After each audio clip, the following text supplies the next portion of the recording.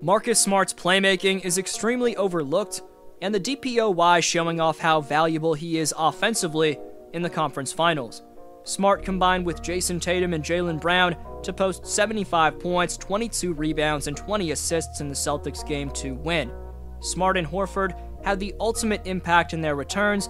The Time Lord had three blocks. Payton Pritchard, along with Grant Williams, were both at least plus 37, and even my fellow Torontonian Nik Stauskas got some run. Three wins away from their first finals appearance since 2010. You're about to see the reasons for why JT and the entire state of Massachusetts are about to go nuclear. Before continuing, just 11.3% of you watching right now are subscribed, so if you haven't already, please subscribe and hit the bell so you don't miss a single upload. Also, leave a thumbs up, it takes a few seconds and makes a massive difference in YouTube's algorithm. You can follow me on Instagram and Twitter at DFlowHoops, and I'll follow you back. Link is down below in the description for those two platforms. While Butler ultimately scored 29 points, Marcus made him work for everything, limited him to 12 less free throws than he had in Game 1. But shockingly, it was what the Defensive Player of the Year did on the other end of the court that made every bit of the difference. Intelligently setting his teammates up by dropping 12 dimes, Smart totaled his career high for single game assists in the postseason, fueling the C's to a 25 point blowout win and sending Heat fans home with 7 plus minutes left in the fourth quarter.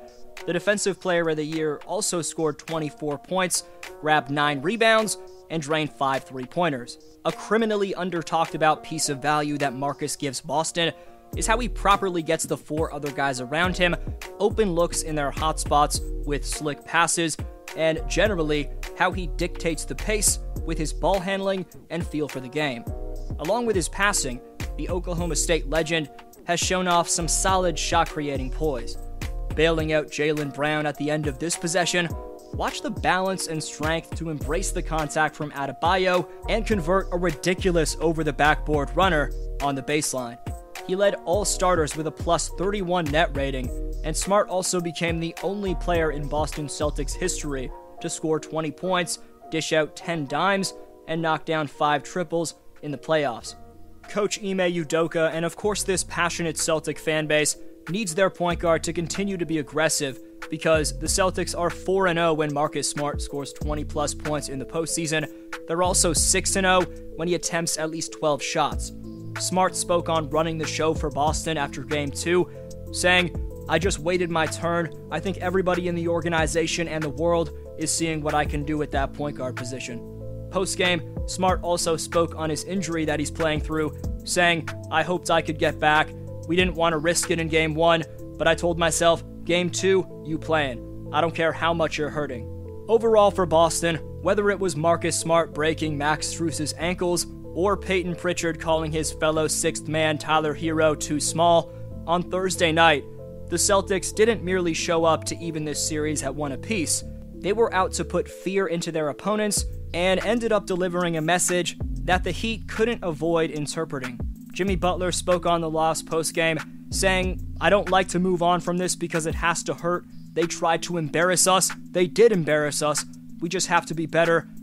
For the fact that his team's lost seven of the eight quarters this series so far, you can't really blame Jimmy, who's averaging 35 points per game on 62% shooting from the field in the conference finals so far. Tyler Herro and Bam Adebayo have been the actual Miami issues through games 1 and 2.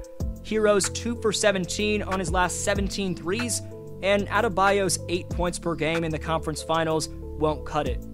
8 Mile Payton Pritchard posted the second highest single game plus minus by a bench player in Game 2 since 1996. Meanwhile, Tyler Herro posted the second lowest plus minus by a bench player in the play by play era, franchise history, according to StatMuse. The Celtics played a ton of drop coverage in Game 1, but Coach Udoka making the change to have his guys switch ball screens as much as possible helped neutralize the majority of Miami's action. While that adjustment was crucial, having the player who's defended the most shots these playoffs in Al Horford back for Game 2 definitely helped. Swiftly clearing protocol, C's fans received a godsend with the news that Horford would be available for Game 2. Opponents are shooting 10% worse when defended by Al, and the veteran picked up right where he left off in the second round, locking down actions in the pick and roll with intelligent screen navigation and surprising lateral quickness. you could forget that Big Al's 35 years old at this point with the way he's moving out there. Only Draymond Green has a lower defensive field goal percentage than Al in these playoffs. The Celtics snagged eight steals in the contest and were constantly pressuring Miami. And even when they weren't able to get the steal, they bothered the Heat's ball handlers enough to regain possession. Boston forced Miami into 14 turnovers, pestering them with their length physicality that they lacked on Tuesday night. Marcus Smart played a big role in that, getting three steals and a block. He sniffed out the ball every time it came his way. Since the beginning of February, the Celtics have lost just 10 games, including the playoffs. In the nine games they've played after those losses, they shot 50% from the field, 39.9% from the three point line, and 85.8% from the charity stripe.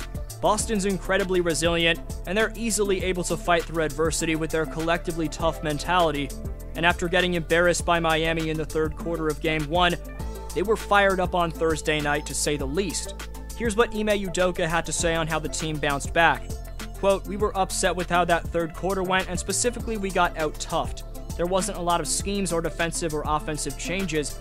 They just came out and kind of punked us in that third quarter. Kind of reminded us of Milwaukee in the first game a little bit, and didn't want to get caught off guard again but I think our guys have bounced back really well all year, especially in the second half of the year. If a team is just going to come out and out hustle you, there wasn't a lot of things schematically that they did different. We can match that intensity. We pride ourselves on being one of the tougher teams, and so we knew if we matched that, we'd be in good shape tonight. End quote. I want to know in your opinion down in the comments section though, what's the Boston Celtics' best quality overall as a team?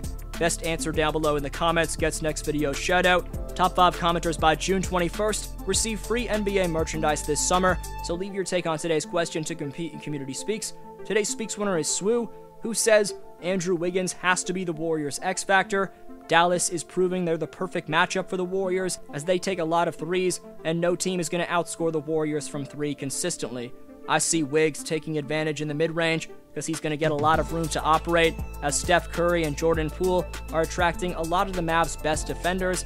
That's why the points were so equally spread out in game one. His defense on Luka cannot be overlooked either. Luka will get going eventually, but Wiggins is an incredible athlete. I think he can keep it up. Appreciate every answer. I hope you have a great one. D Flow signing off.